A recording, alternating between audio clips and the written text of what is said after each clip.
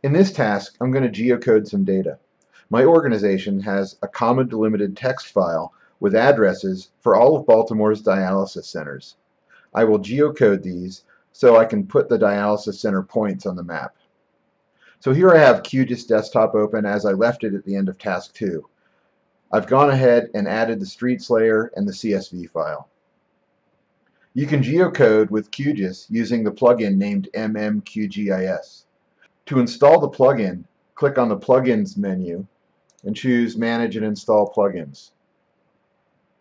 I'll click on the All tab and type MMQGIS into the search bar. To install it, I just select the plugin and click Install Plugin. MMQGIS has many useful tools. For geocoding, I'll use the tools found in MMQGIS Geocode. There are two tools here, Geocode CSV with Google or OpenStreetMap and Geocode from StreetLayer. The first allows you to geocode a table of addresses using either the Google Maps API or the OpenStreetMap API. This tool requires an internet connection but no local street network data. The web services provide the street network. The second tool uses a local street network dataset with address range attributes to geocode the address data. I'm going to use the geocode from Street Layer option. For the input CSV file, I'll click Browse and select the Baltimore Dialysis Center CSV. It's in the Lab 3 data folder. I'll identify the street name field and the number field using the drop-downs. I'll identify the loaded street layer, street CL, as street layer. The street name attribute is FE name.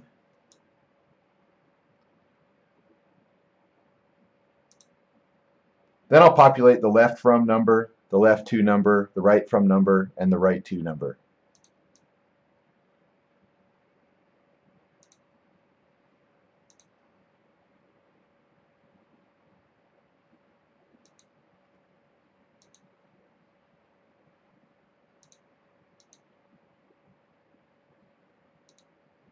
I'll browse to my lab data folder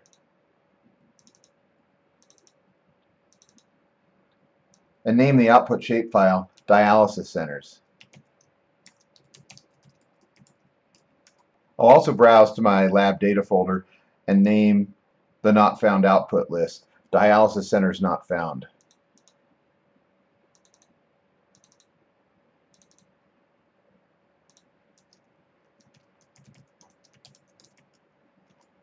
This option will save a CSV file with information on any records not matched. Once I have everything set, I'll click OK to run. The operation will take a minute or two to complete.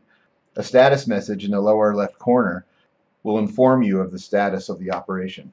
When complete, I'll see the results in the lower left corner of QGIS, and the shapefile will appear in the Layers panel.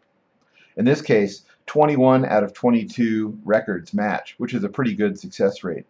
I'll open the Dialysis Centers Not Found CSV.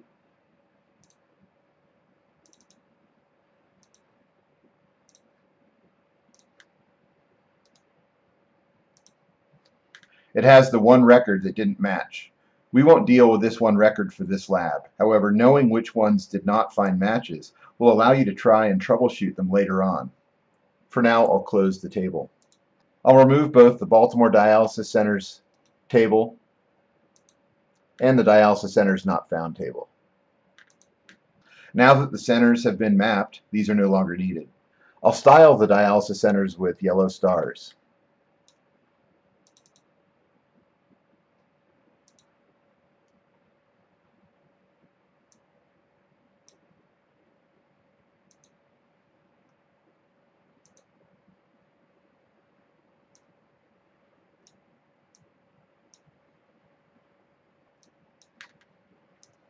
Next I'll label the layer. To do this I'll switch to the Labels tab.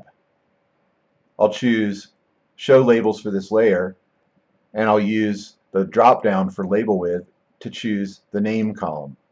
I'll set the text font size at 6.25. Under formatting I'll enter a space as the wrap-on character. This will put a carriage return in after each space in the name.